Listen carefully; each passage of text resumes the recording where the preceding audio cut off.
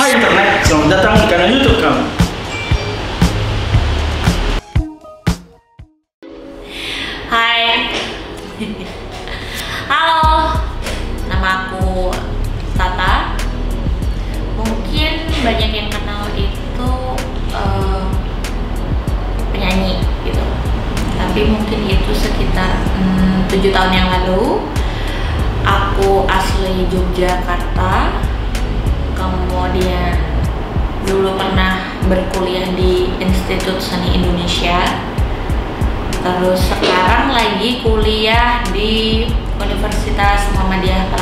terus sekarang aku jadi ibu rumah tangga dan tetap jadi kreator dalam segala hal Oke. banyak banget ya Di sini sebenarnya Mbak Tata itu siapa? di mana Di kehidupan Mas Nova. Ah, jelas istrinya jadi kebetulan aku istrinya Nova Kayak Eh, dia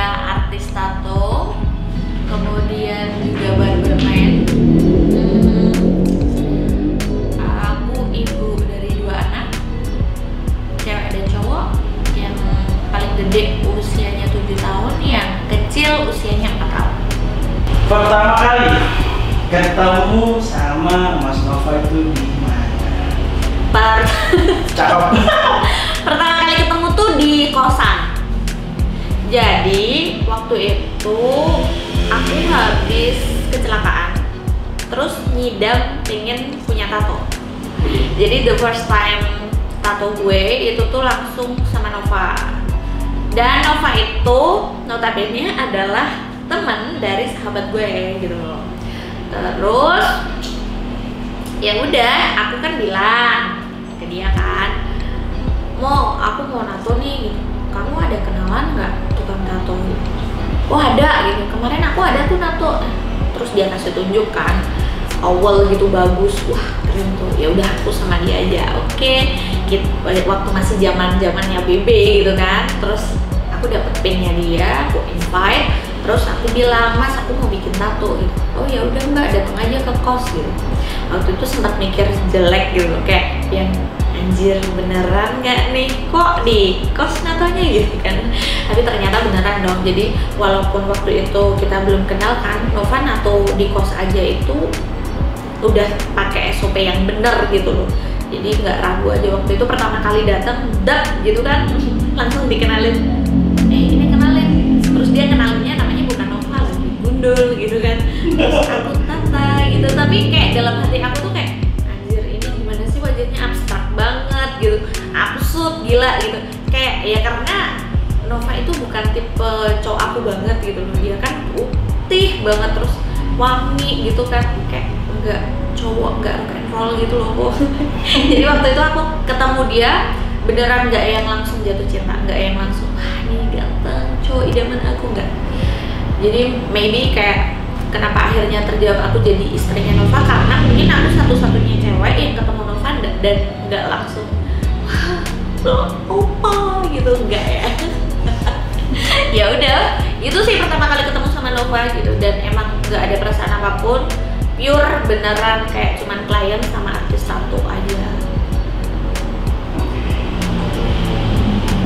Awal ketemu katanya Mbak Tata tato sama Mas Nova. ya Waktu pertama kali tato apa yang Mbak bikin? Terus komentar Mas Nova tentang gambar yang Mbak request itu apa? jadi waktu dia masih jadi artis tato tuh nggak ada komentar apa-apa gitu ya kan tapi setelah udah terus kita temenan kenal deket gitu dia ngakak dong dia bilang apa gila nih ada orang mau nato logonya. Jadi aku tato pertamaku itu logo Assassin's Creed itu kayak salah satu game PC gitu loh. Dan itu tuh game yang dulu sering banget aku mainin sama ex my boyfriend gitu. Jadi eh, kayak ini tuh gamenya aku banget lah gitu terus yang paling aku suka dari game ini adalah eh, ada bagian kalimat yang itu tuh menurut aku jalan hidup banget gitu loh buat banyak orang. Yaitu from the last to begin itu tulisannya from the last to begin jadi kayak sesuatu yang berakhir gitu tapi ini tuh sebenarnya untuk permulaan yang baru gitu. Jadi aku bikin tato itu adalah untuk mengakhiri sesuatu dalam diri aku gitu kan. Kayak menutup pintu gerbang dalam hidup aku dan memulai gerbang yang baru gitu. Dan ternyata Nova waktu itu komentar kayak gini gila nih ngapain nih orang nih cewek? Terus natonya kayak gini lagi. Terus waktu itu kan yang aku kasih ke Nova itu benar-benar cuman pure logonya Assassin's Creed yang kayak gini kan terus sama dia dibilangnya mau nggak aku bikin lebih bagus lagi? Terus akhirnya dia bikin uh, logonya jadi lebih bagus. Dan selama proses kami nato itu ngobrol gitu loh dia tanya kan kenapa mbak uh, mau natonya kayak gini? Terus aku bilang ini tuh game yang aku suka banget. Dan ini tuh game yang selama ini tuh aku mainin sama mantan aku. Aku bilang gitu ke dia. Terus oh terus kenapa tulisannya ini? Terus aku bilang ya ini tuh emang beneran aku mau mengakhiri uh, sesuatu kenangan dalam hidup aku dan mau memulai sesuatu yang baru hidup yang baru gitu. Makanya kayak goalsnya aku tuh NATO udah gitu. Jadi jadi emang dianya juga dari awal start dari awal itu emang udah ngerti. Dan aku sama yang Nova tuh emang pure temenan.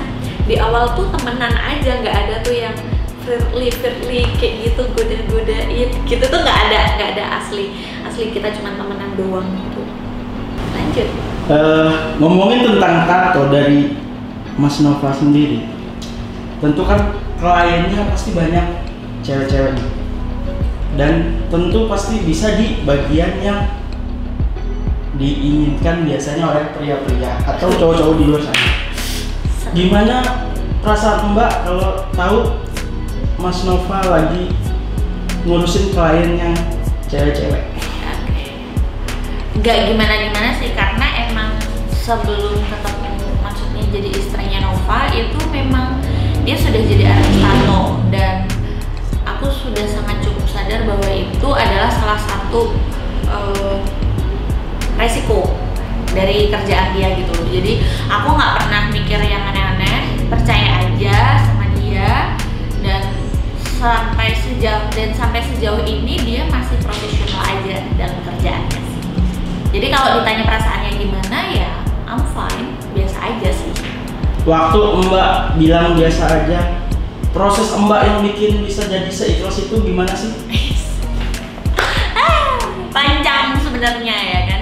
Jadi um, dulunya itu aku uh, basicnya adalah anak broken home gitu yang emang enggak bisa banget di rumah dengan kondisi yang rumah uh, bapak sama ibu aku itu divorce gitu kan. Jadi aku udah ngerasa kayak uh, banyak banget loss dalam hidup aku gitu loh kehilangan banyak hal dalam hidup aku tuh udah biasa aja. Jadi ketika kayak misal dari dulu tuh punya partner atau bisa dibilang pacaran gitu kan itu tuh kayak yang ya udah aja lah kalau emang jodoh ya juga gak bakal ke mana aja jadi hampir hampir dibilang aku kalau pacaran tuh nggak pernah posesif gitu loh. Jadi kalau cemburu emang bilang aja cemburu. Kalau misal suka ya bilang suka nggak suka ya bilang nggak suka aja gitu. Jadi karena udah terlalu sering apa ya bukan disakitin kali ya ditinggalin lah. Udah sering ditinggalin dulunya. Jadi udah biasa aja gitu. Dan ketika waktu pacaran sama Nova juga Novanya yang biasanya tuh kan cewek minta kepastian gitu. Jadi ini malah Novanya yang minta kepastian sama aku mau pacaran apa enggak gitu. Akunya tuh yang malah jawabnya jalanin aja gitu. Asik. Padahal ABG zaman sekarang. Uh, uh, padahal tuh uh, biasanya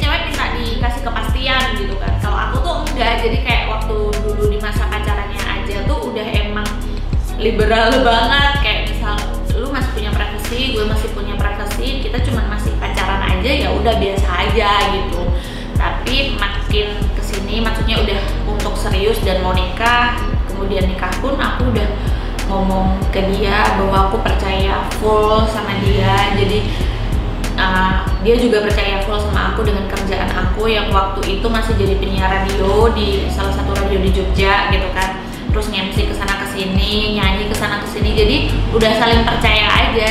Karena itu tuh udah benar-benar chemistry sama uh, perasaan saling percayanya udah kuat jadi ya ya lihat gue aja sih gitu. Uh, seru gak sih punya suami artis tato? Seru, seru sih karena ini tuh profesi yang ditolak banyak mertua ya. Jadi iya. hampir iya dong gitu. Kan kebanyakan mertua pengen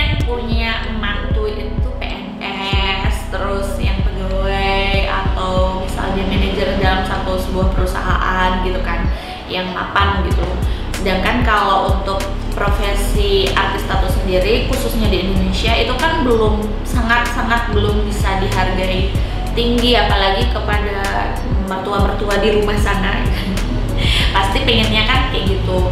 Cuman eh, perjuangannya jadi lebih besar karena aku sama Nova itu emang benar-benar komit kita mau menikah itu dari keluarga besarnya aku sebenarnya nggak setuju karena dengan profesi dia gitu kan. Tapi akhirnya eh, Nova tuh bisa ngebuktiin kalau ini loh profesi sebagai artis tato itu tuh nggak main-main. Ini loh bahwa prosesnya itu harus emang profesional harus sesuai dengan SOP ini loh kerjaannya bisa ngidupin anak sama istrinya gitu. Jadi dari situ tuh akhirnya eh, keluarga aku sendiri juga udah yang oh, oke ternyata nggak se kayak gitunya kok. Jadi selama ini tuh mindset artis tato atau tukang tato itu eh, jelek gitu kan. Itu karena cuman mereka belum teredukasi aja atau mereka juga nggak tahu banyak dari orang yang emang beneran tahu soal dunia tato. Apalagi? Pernah nggak sih mbak? Cemburu gitu? pernah. Pernah lah. Cuman eh, momennya itu kadang suka nggak masuk akal sih. Maksudnya udah hampir 10 tahun aku jalanin pernikahan sama Nova itu cemburunya tuh kayak apa ya kayak yang pertama dulu tuh jelas gara-gara hmm, aku hamil.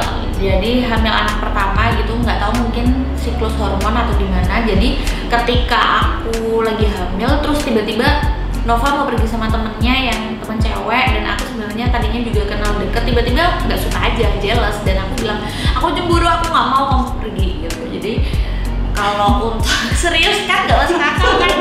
Terus kalau misalnya di apa kerjaan gitu kebanyakan aku jealousnya tuh malah kayak bukan gara-gara aku lihat kliennya cakep seksi atau gimana gitu enggak tapi gara-gara aku dengar nih misal dari anak-anak lainnya itu pada atau asistennya Nova itu bilang ini loh apa mbak? Tadi uh, kliennya Mas Nova tuh cantik. Ini loh kliennya Mas Nova tadi mbak ininya gede. Sebenarnya karena aku dengar dari orang lain gitu. Terus tiba-tiba kebakar cemburu gitu loh. Iya. nggak make sense banget sih tapi aku tetap aku udah kebiasaan ngungkapin kan. Jealousnya itu kebanyakan malah gara-gara ya aku dengar suaranya dari orang gitu gitu loh. Bukan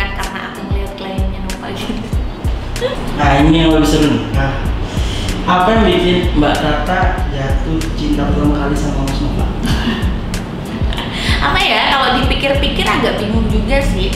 Eh, tapi ini ada sih. Jadi aku itu orangnya sangat independen gitu loh. Jadi mandiri kan. Emang apa-apa tuh udah kebiasaan sendiri ngambil keputusan sendiri. Terus kerja pokoknya kerja apa-apa kerja gitu dan setiap punya pasangan itu selalu dapat pasangan yang aku yang ngatur gitu. Kayak apa apa aku bisa atur sendiri aku arrange sendiri terus dia tinggal ngikutin aja gitu. Sedangkan kalau sama Nova tuh enak bisa TikTok gitu loh bisa ngobrolin semuanya ke dia dan dia juga punya feedback balik ke aku gitu. Terus ketika aku, aku tuh orangnya ngeyel banget kan. Jadi ketika aku ngeyel itu tuh Nova tuh bisa buat ngingetin aku ini salah loh Eh, jangan kamu jangan lewat sini gitu karena itu tuh nggak baik misal kayak gitu jadi karena dia bisa ngingetin dan bisa ngatur aku itu sih kayaknya yang bikin aku falling in love with him Asik asik asik. Terus selama 10 tahun kan? hampir hampir Hampir 10 tahun. Apa yang akhirnya membuat Mbak Tata akhirnya memutuskan untuk menikah Mas Nova? Gimana ya ngomongnya? Soalnya Nova tuh kan bukan tipe kalau orang yang romantis. Jadi kayak eh, maybe di usia waktu kami dulu itu dia udah kerja udah mapan aku udah kerja juga udah mapan. Terus tiba-tiba nih ceritanya aku lagi setrika baju gitu dia di belakang aku dong random banget langsung ngomong siang bolong gitu. Kita nikah yuk. Terus aku tuh kayak ya, hah ini nggak ada angin nggak ada hujan ini manusia ngajakin nikah gitu kan. Lu serius? Gitu. Iya. Kok tiba-tiba banget? Gitu. Ya kita mau ngapain lagi? Gitu loh. Kita udah kerja terus kita udah ngapa-ngapain. Kurang apa cuma tinggal statusnya doang aja kan nikah. Ya udah deh. Terus gue pikir-pikir ya ya udahlah nikah aja iya bener juga ngapain lagi nunggu apa lagi? Gitu. Kalau suami dapat duit, uangnya dikelolanya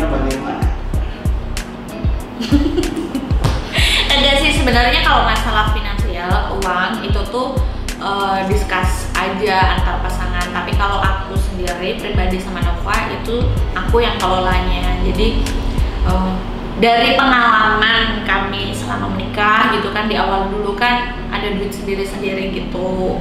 Terus pada akhirnya bubar gitu kan. Akhirnya kayak kebutuhan yang emang buat rumah tangga tuh jadi berantakan.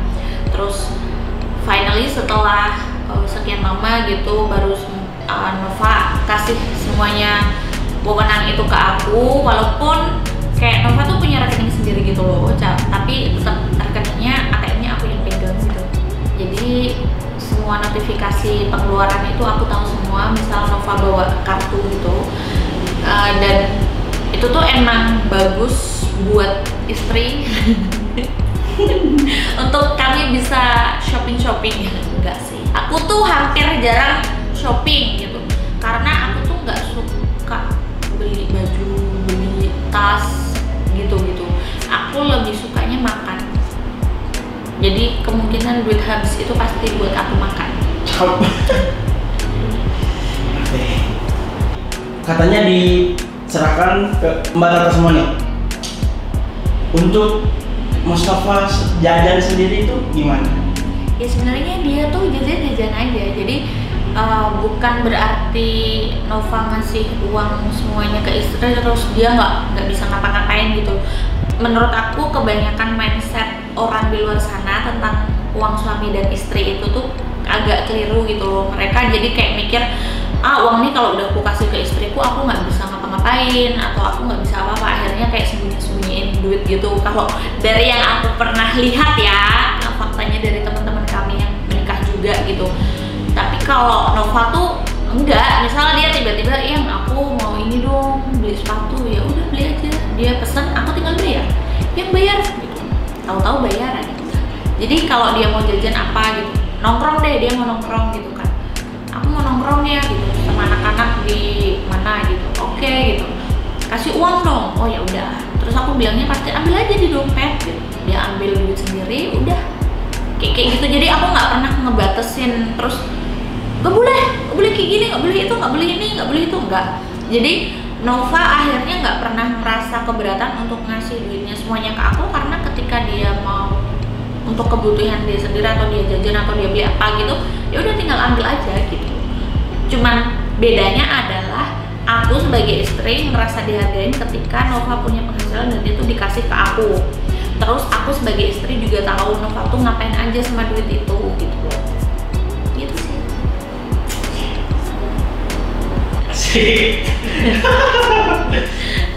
Em, setelah menikah, sayang apa sih Mbak Tata sama Mustafa? Aduh, jangan diomong deh, nanti dia GR. Pokoknya rasa sayangnya aku ke Nova tuh bisa bikin misal Novanya lagi eh, nggak enak badan, aku yang kerokin. Dia bangun pagi aku bikinin teh. Terus nggak usah pakai eh, kayak nggak ngerti mau ngapain aku ajak ngobrol buat mikirin ide ke depannya mau gimana gitu terus nge-support dia apa pun impiannya dia nggak pernah ngelarang apa pun hal yang menurut aku itu masih bagus masih positif dan itu baik buat dia gitu. itu sih Support terus akan ada nggak pesan-pesan yang pengen disampaikan ke Mas Nova dari lubuk hati yang terdalam? Ini serius nih pertanyaannya kayak gitu. Eh, uh, pesan kesan pesannya apa ya? Terus jadi partner aku yang swag gitu kan. Terus tetap jadi partner aku yang gokil tetap jadi uh, rival aku yang selalu berantem dan adu argumen sama aku soal apa pun gitu kan. Um, selalu berbeda pendapat nggak pernah sepemikiran nggak pernah sama pokoknya jangan berubah terus kayak gitu. Uh, aku bakal tetap support kamu untuk ambil impian kamu dan aku juga akan berusaha buat raih impian aku sendiri juga. Kita tetap di rel yang berbeda dengan satu tujuan yang sama entah siapa yang duluan sampai atau kamu atau aku gitu kan. Terus tetap jadi uh, suami dan bapak yang baik buat anak-anak kita. Tetap sehat tetap semangat gitu sih. Uh, terakhir. Ini serius juga. Uh, pesan buat istri-istri artis tato yang ada di Indonesia. Semangat! Tetap semangat tetap kuat terus percaya sama suami. Yang terpenting itu uh, mungkin kalau kalian dengar dari aku ah mbaknya nih gampang aja ngomongnya kayak gitu gitu kan. Nggak ngerti sih perasaannya. Lakukan hal ini karena gini aku punya prinsip ketika sebelum menikah sama Nova aku bilang ke dia bahwa ada dua hal yang tidak boleh dia langgar. Yang pertama selingkuh. Yang kedua adalah main tangan KDRT jadi kalau dia melanggar salah satu itu aku nggak peduli mau berapa lama kita udah hidup bersama nggak peduli anak-anak udah segede apa aku bakal cabut dari hubungan ini dan cari bapak baru. Jadi tetap semangat tegas sama suami kita pastiin aja bahwa mereka tahu di mana batasannya. Dan kita percaya aja bahwa mereka pasti tahu batasannya. Ya kalau nggak tahu nggak tahu diri aja. Jangan lupa like comment subscribe and share. Dadah. Thank you.